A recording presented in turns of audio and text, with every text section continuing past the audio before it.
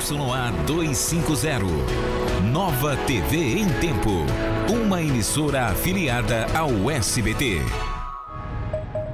Três homens são presos suspeitos de integrar uma quadrilha especializada em roubo de veículos e casas. Policiais do Batalhão de Trânsito apreendem 200 quilos de maconha na rodovia Manuel Urbano, que liga Manaus ao município de Iranduba. Como estão as famílias afetadas pelo temporal da última quarta-feira, que provocou estragos em toda a cidade?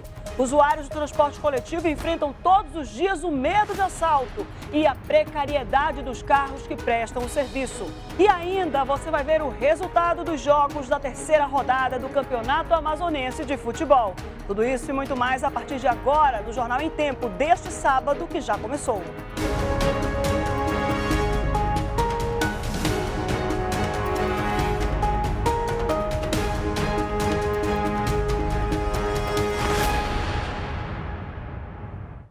Olá, uma boa tarde para você.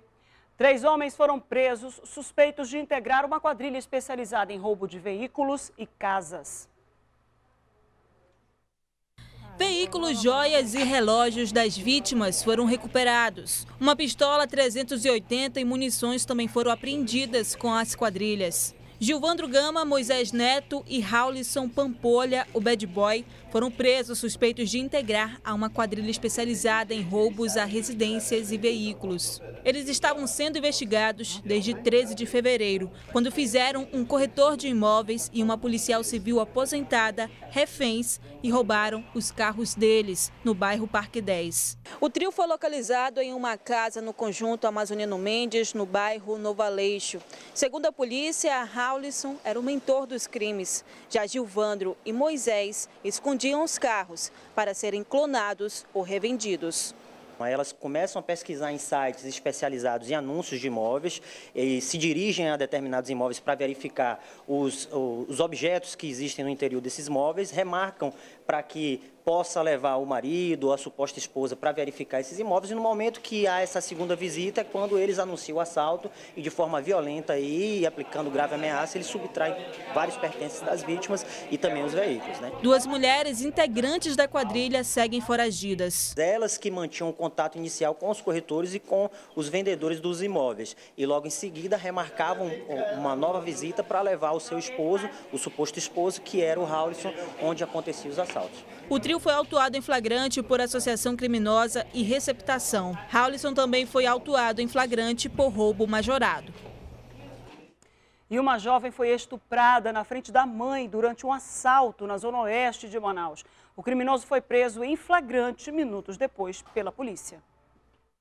Esta mulher relembra os momentos de terror que passou com a filha dentro da própria casa. Então ele entrou e já botou a faca no pescoço da minha filha, já tomou o celular dela, já foi verificando tudo. E eu estava dentro do banheiro, minha neta de dois anos e meio, deitada na cama, dormindo.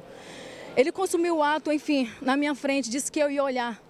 Ela teve a casa invadida por um assaltante na manhã desta sexta-feira, no Vila da Prata, zona oeste de Manaus. Além de roubar, o bandido estuprou a filha dela de 18 anos. A vítima saía de casa para fazer compras quando foi abordada pelo criminoso. Ele a obrigou a entrar de volta na residência. Lá dentro, ameaçou de morte o filho da jovem, um bebê de apenas dois anos de idade, caso ele não mantivesse relações sexuais com ela. O crime foi cometido na frente da mãe da vítima. O bandido foi preso uma hora depois do crime. Jucinei Firmino de Oliveira, de 23 anos, estava em posse de celular e dinheiro roubados das vítimas.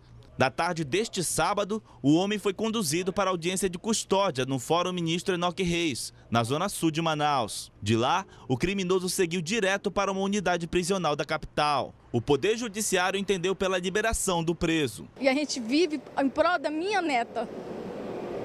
Eu peço justiça, como mãe e como mulher. Que coisa horrível.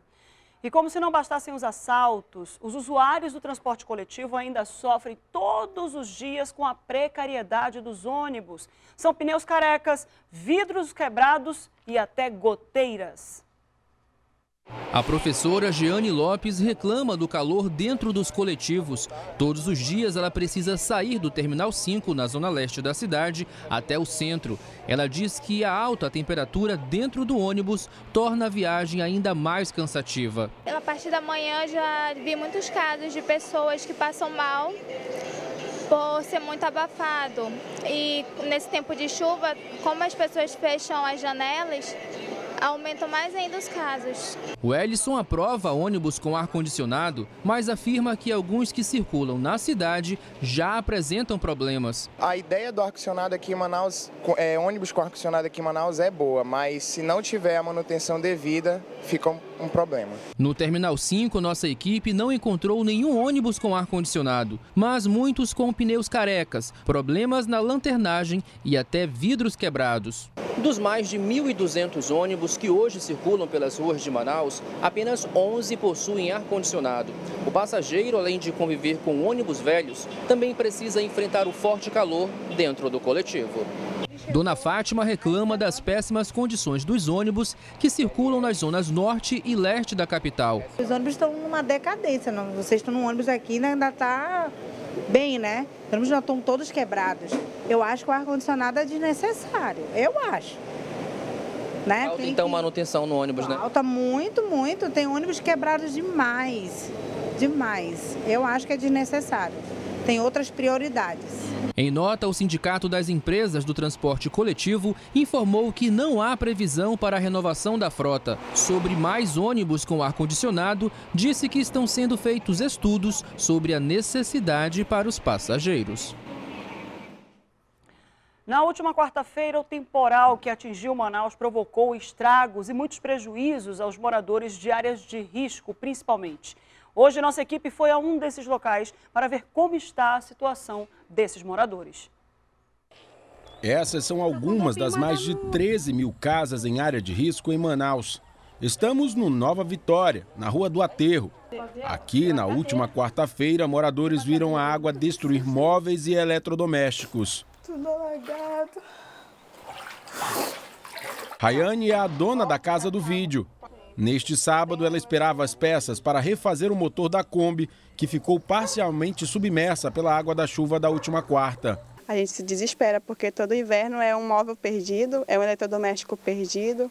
Já perdemos o carro agora, né? Estamos tentando ajeitar o carro. Geladeira, não tem geladeira que dure, máquina de lavar, cama, já é minha terceira cama só esse ano.